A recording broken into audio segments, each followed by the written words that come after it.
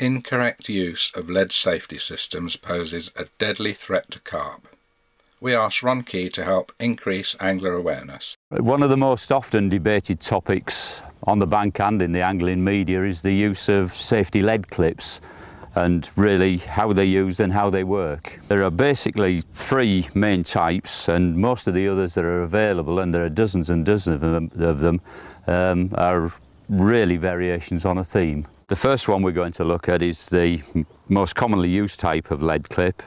It's a fairly standard sleeve that fits over the swivel, a hook on the side and a rubber sleeve that actually fits over the end of the sleeve, gripping it so that the lead can't come off. In this particular case, there's a pin that goes through the sleeve and through the eye of the swivel, locking the swivel into the, into the sleeve. This ensures that if your lead does get locked at any point or it gets snagged up in weed, when you pull, the swivel and the clip go away from the lead. So as the fish moves away from the snag, the, the lead comes straight off.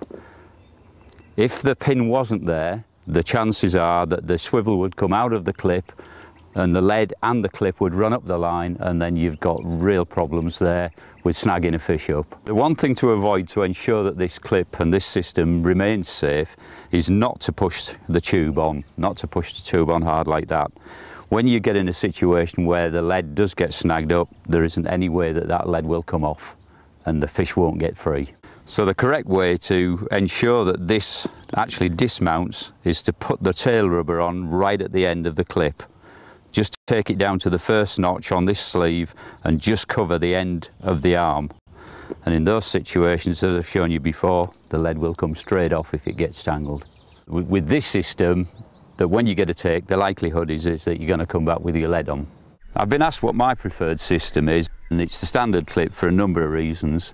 A lot of my fishing is distance fishing, and this system I think is more aerodynamic. With the lead forward, I think it's more stable in flight and I get greater distances. Now we're going to move on to inline leads. I know a lot of anglers like to use inline leads, particularly anglers who use PVA bag systems. So this is just one of many, many variations on a theme.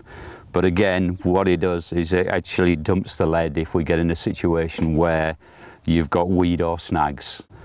The lead itself has got a, a slot in it the sleeve that goes through the middle of has got a shoulder and there's a recessed hole inside the lead which actually stops the lead pulling free. If the fish keeps swimming and pulling, we've got a system where that drops out and the lead comes off. Again, this is a system where the swivel is locked into this sleeve with a pin. This ensures that when the fish pulls against the locked lead, that the sleeve comes away and really frees the line away from the lead. The last one I want to look at is um, an MCF lead release system. This system is different to the other two in that it will release the lead every time. So there's possibly an ecological penalty here. You are dumping lead into the lake every time you cook a fish. On the cast, the weight of the lead moving forward through the air pulls the swivel into the base of the hook. Every time you get a take, every time a fish pulls on that hook, the lead will drop off. Any slight pressure going away from the lead will release it.